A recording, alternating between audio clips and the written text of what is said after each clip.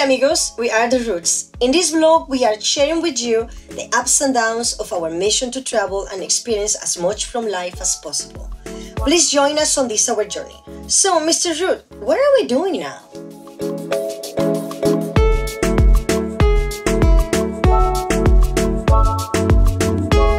So we took a break on building the bus for about eh, nine months.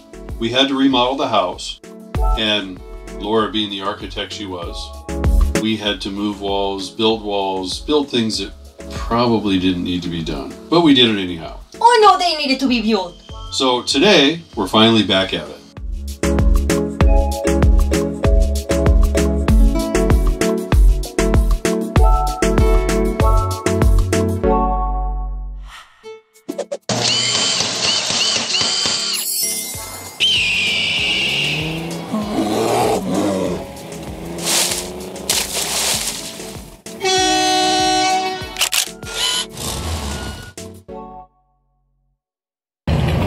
So here we are at the metal yard today. We're picking up metal for the skins of the bus. So they sell it 4x10 sheets. We're going to use 18 gauge steel. Uh, we're going to put it up on the bus, cut it to fit, and all that uh, sheet metal is going to be the, uh, the skin for our windows. Awesome. So as you can look around, there's all kinds of steel here. Pretty cool place.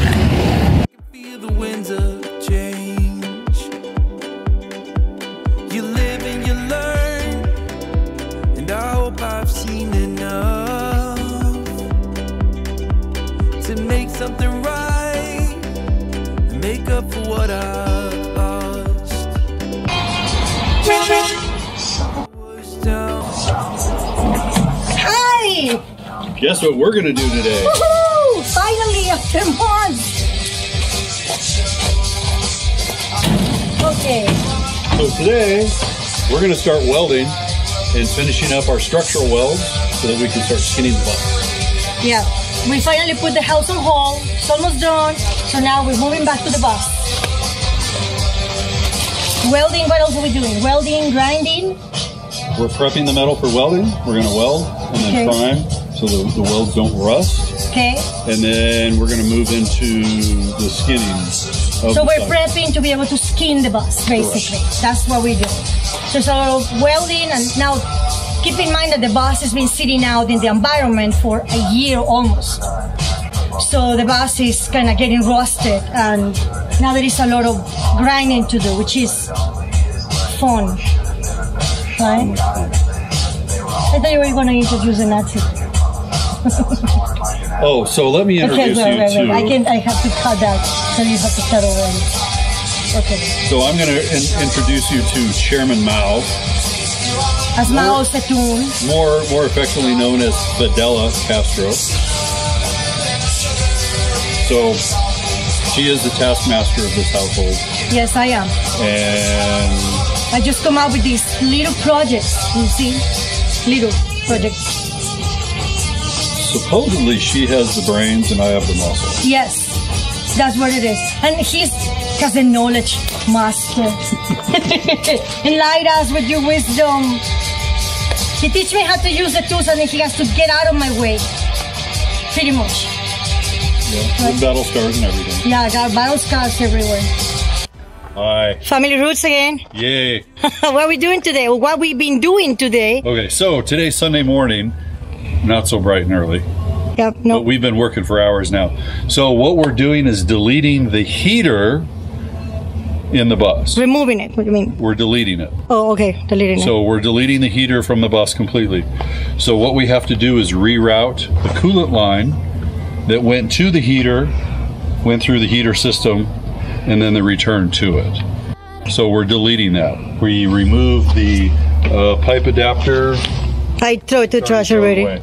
We remove the pipe adapter inside. Yeah. So there's no more hoses inside. So there's no more liquid from the engine at all anymore. And we can patch the floor finally. We can weld it right now. So we're going to put plates in place where all the holes were and fill those up and we'll have a sealed floor. So since it was such a dirty mess, greasy road grime, and you're going to see pictures here in a minute. Um, what I had to do is is clean and scrape. Laura cleaned and scraped, and she got in there with literally a brush and a shovel. and let's just say it was dirty. Yep. So we cleaned as much as we could. Then we got some degreaser. We degreased it, and we're letting it sit right now. And we'll spray it off. It'll be cleaner. Yeah. At least we'll be workable, right? So then, when we're done, we're going to reroute the coolant line, Which is that thing in the floor.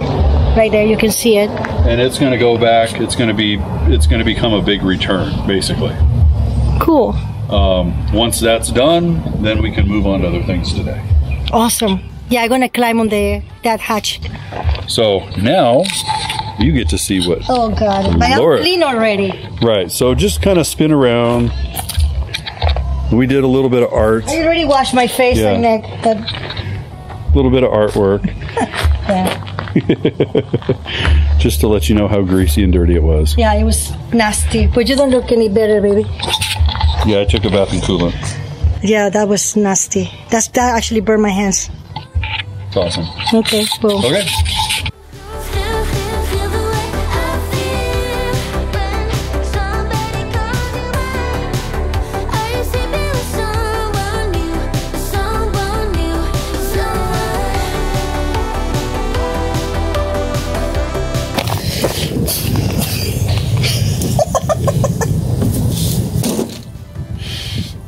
Come on out for a second. Because we're going to move that.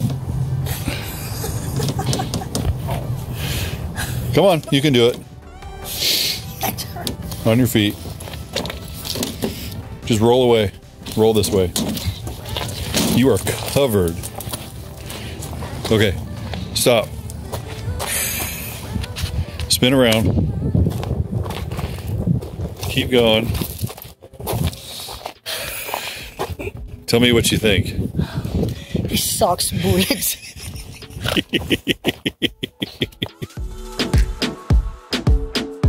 We also needed to remove the emergency hatch on the backside. So, of course, up I went. There was more grinding involved in this task.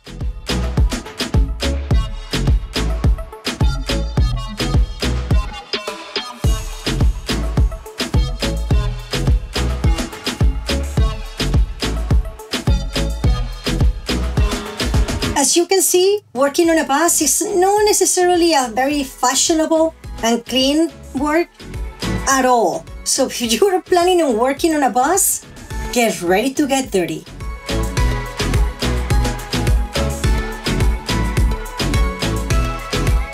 So while I was on the roof, Brian was working on the emergency door plug, where he reinforced the structure of the bus to be able to sheet it on a later day.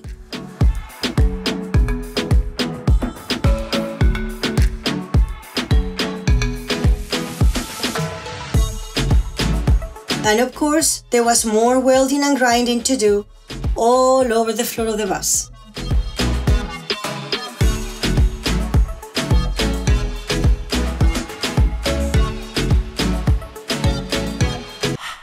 Well, that's it for today, you guys. Please consider subscribing, smash that bell, and know that wherever you are in the world, we wish you good health. And until next time, hasta luego, amigos.